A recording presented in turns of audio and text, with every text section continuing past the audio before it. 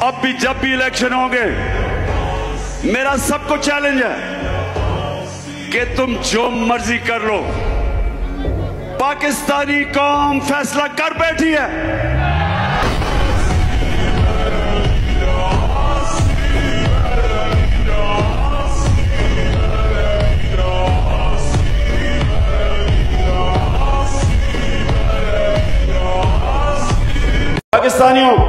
جب تک ایک معاشرے میں انصاف نہیں آتا، جب تک قانون کی بالادستی نہیں ہوتی، جب تک ایک معاشرے کے اندر قانون کی حکمرانی یعنی کہ طاقتور اور کمزور کے لیے ایک انصاف کا قانون نہیں بنتا، جس کو رول آف لا کہتے ہیں۔ کوئی معاشرہ ترقی نہیں کر سکتا۔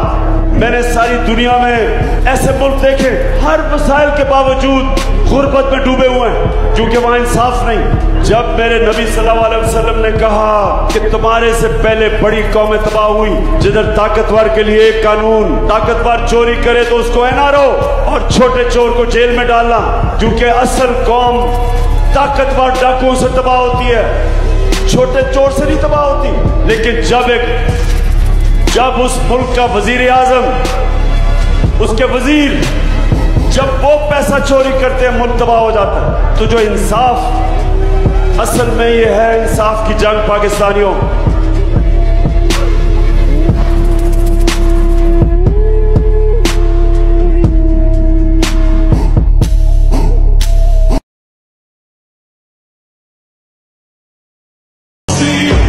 جب تک آپ کا کپتان خوف زدہ نہیں، تو آپ کو کسی سے ڈر ہے؟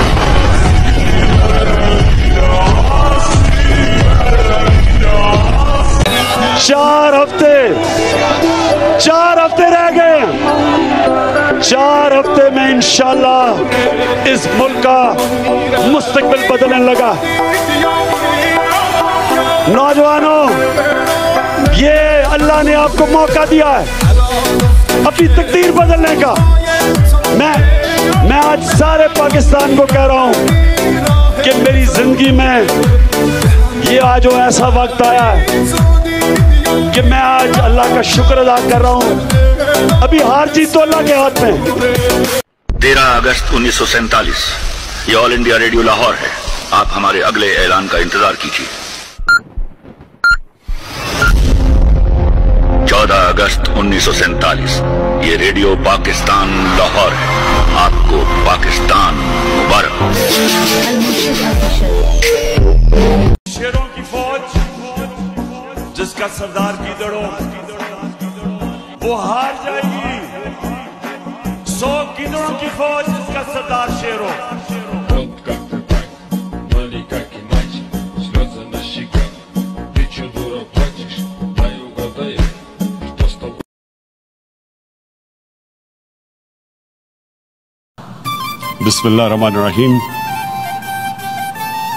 iya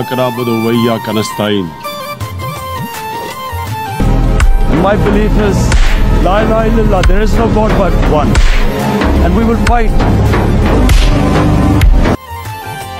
ہم دیوانے کے۔ ہم ہی جیتے گا۔ میں غلام ملک میں پیدا ضرور ہوا لیکن میرے دل نے غلامی نہ کبھی قبول کی ہے اور نہ کبھی کرے گا۔